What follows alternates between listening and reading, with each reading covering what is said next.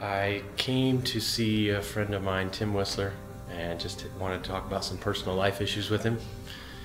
Um, we, he says, Tim, I've got a product that I'd like you to look at that I think will be a big help to you. Uh, he explained what it was. Um, I looked at it I said, I see how this is a benefit to me. Um, I was getting ready to go through a divorce. It was an amicable divorce, but nonetheless, she'd already hired an attorney and paid $3,500 retainer. And I said, I don't have $3,500 to pay a retainer.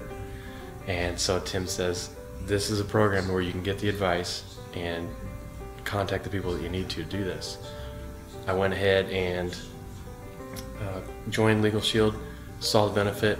By the time we were all done, it had happened where she spent $7,000 on an attorney and I spent zero. All it cost me was my membership. Basically, she had hired the attorney. We drafted the papers together. I went and saw her attorney to get the papers, sent them to Legal Shield. matter of fact, I called Legal Shield, and about half an hour later, they called me and asked what I needed help with. I faxed those papers up to Legal Shield, and then about an hour later, um, the attorney actually called me back and said, I'm going to go through these. I'll get back to you in a couple days.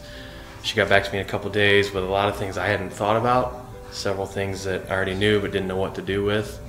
And uh, I took those back to um, the attorney that was being represented by my ex wife and said, I'd like to think about these changes. They made those changes.